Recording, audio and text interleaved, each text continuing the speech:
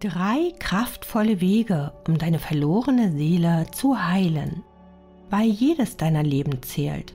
Unsere Seele ist unsterblich, allerdings nicht unverwundbar. So manches, was wir in einem Leben ertragen müssen, hinterlässt bleibende Schäden. Ähnlich wie unser Körper verfügt auch unsere Seele über ein Traumagedächtnis. So lange zurückliegen können Verletzungen gar nicht, dass sich unsere Seele nicht daran erinnern könnte. Manche Menschen spüren dies kaum, wieder andere leiden ein Leben lang und wissen nicht warum. Eine Seelenrückholung oder Seelenrückführung kann hier die ersehnten Antworten liefern. Alles, was du zu diesem Thema wissen solltest, verraten wir dir in unserem heutigen Podcast. Nummer 1. Wie äußert sich ein Seelentrauma oder Seelenverlust? Typischerweise zeigen sich Verletzungen an unserer Seele durch ein lebenslanges Gefühl der Desorientierung. Diese Menschen haben nie gelernt, wo ihr Platz im Leben sein könnte. Sie fühlen sich meistens als Kinder schon ungeliebt und ständig zwischen den Stühlen sitzend. Das Eingehen und Führen von Beziehungen fällt ihnen schwer. Sie neigen dazu, entweder auf Distanz zu bleiben oder sich für ein Quäntchen Liebe förmlich aufzuopfern. Die Bindung zu den eigenen Kindern fällt oft nicht leicht, auch wenn diese von Herzen gewünscht waren.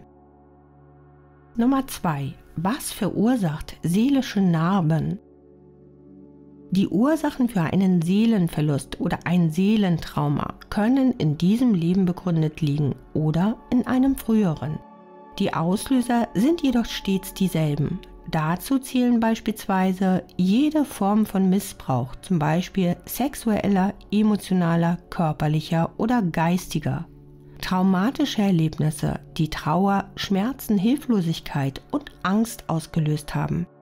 Suchtprobleme wie Substanzabhängigkeit, Glücksspiel, Essen, eine Nahtod- oder außerkörperliche Erfahrung Situationen, in denen wir gezwungen wurden, gegen unsere Moral oder Überzeugungen zu handeln, Ablehnung oder verlassen werden, der unerwartete Tod eines geliebten Menschen, Unglücksfälle, Naturkatastrophen oder Verbrechen und ungesunde Beziehungen.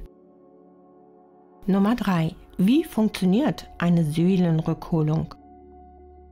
Grundsätzlich gibt es zwei verschiedene Ansätze der Seelenrückholung. Psychiater, Psychologen und Psychotherapeuten bieten diese entweder in Form einer Hypnosetherapie an oder als ganzheitlichen Ansatz, der sich Elementen der zweiten Variante bedient, dem schamanischen Ansatz. Beide Wege können zielführend sein. Wofür du dich entscheidest, hängt im Wesentlichen davon ab, welcher theoretische Aspekt und welcher Ausbildungs- oder Wissenshintergrund dir eher zusagt.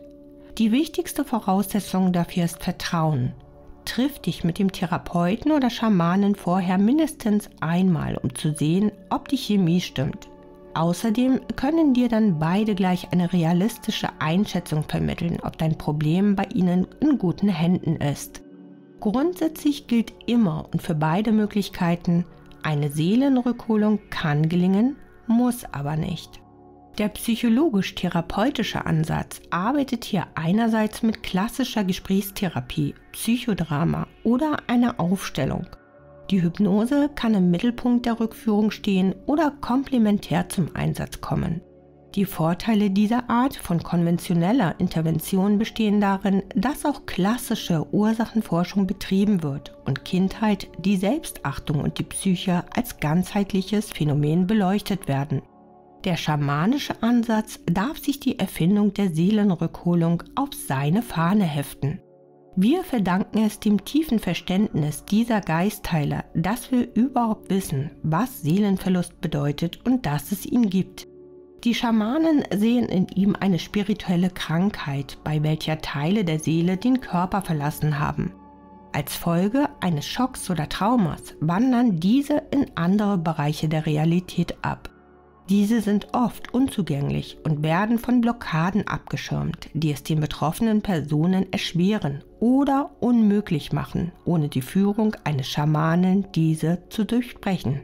Zu den Methoden zählen die Reinigung der Aura von belastenden Energien und das Aufbrechen von Glaubenssätzen oder manifestierter Fremdenergie. Auch das Reisen in die drei schamanischen Welten und die Suche nach Verbündeten wie Krafttieren und Lehrern gehört dazu. Nummer 4. Die drei Wege der Seelenrückholung. A. Meditation und Visualisierung. Mit dieser Methode arbeiten sowohl klassische Therapeuten als auch Schamanen. Es ist wichtig, unser Bewusstsein aus diesem Vorgang so weit wie möglich auszuklammern, damit unser Unterbewusstsein übernehmen kann. Eine geführte Meditation mit Musik und professioneller Anleitung kann viele Türen öffnen. B. Arbeiten mit den inneren Archetypen. Archetypen sind bestimmte Arten von Energie, die du in dir trägst. Sie alle arbeiten zusammen, um deinen Charakter zu formen und stellen eine starke Form der Seelenkommunikation dar. Die üblichen Archetypen sind beispielsweise die Mutter, der Mentor, der Tyrann, der Liebhaber, der Krieger, der Retter, das Opfer oder das verletzte Kind. Wir alle besitzen eine bunte Palette von Archetypen, die sowohl gute als auch schlechte Eigenschaften beinhalten. Die verborgenen Archetypen können durch Visualisierung, das Führen eines Tagebuchs oder einen inneren Dialog ausgeforscht werden. Du siehst schon, dieser Teil verlangt unbedingt professionelle Begleitung. C. Eintritt in veränderte Bewusstseinszustände. Das Eintreten in veränderte Bewusstseinszustände ist ein kraftvoller Weg, um sich wieder mit seiner Seele zu verbinden und die fehlenden Teile zurückzuholen bzw. die Verwundeten zu heilen. Es gibt zahlreiche Möglichkeiten, in Trancezustände einzutreten. Atemarbeit, Mantra und Gebet, bestimmte Rhythmen und Klänge, Selbsthypnose, Visualisierung, Weihrauch und ätherische Öle. Einige dieser Praktiken können sogar mystische Erfahrungen hervorrufen. Die meisten Experten raten auch hier zu einer professionellen Begleitung und nicht zum Selbstversuch. Solltest du es dennoch im Alleingang probieren, sollte jede Einheit dieser bewusstseinsverändernden Praktiken nur über kurze Zeitspannen erprobt werden, etwa nicht länger als 15 Minuten. Nummer 5. Was gilt es zu beachten? Wichtig ist, begib dich in professionelle Hände, egal für welchen der beiden Ansätze du dich entscheidest. Therapeuten können besser oder schlechter qualifiziert sein und Schamanen können es auch. Entscheide dich erst nach dem Vorgespräch und überstürze nichts. Du vertraust diesem Menschen für eine kurze Zeit deinen ganzen Schmerz und deine Seele an. Das sollte keine leichtfertige Entscheidung sein. Wenn du dich nicht wohlfühlst, ist es nicht richtig. Unser heutiges Fazit. Spirituelle Reise in die Vergangenheit. Eine Seelenrückholung oder Rückführung ist immer ein Abenteuer mit ungewissem Ausgang. Wirklich viel schiefgehen kann dabei nicht, außer dass es nicht funktioniert und du dann enttäuscht bist. Klappt es aber, dann kann sich die zurückgebrachte Seelenkraft wieder integrieren. Du wirst und fühlst dich wieder ganz und kommst dir selbst ein Stück näher. Aber unsere Seele ist kein simpler Knochen, den man eben mal gerade biegen und zur Selbstheilung motivieren kann. Sie ist fragil und zerbrechlich, auch wenn sie unsterblich und für immer ist. Das war's für heute. Wenn dir unser heutiger Podcast gefallen hat, dann gib uns gern einen Daumen nach oben. Und um keine neuen Beiträge zu verpassen, abonniere unseren Kanal Spirituelle Welt. Vielen Dank und bis bald.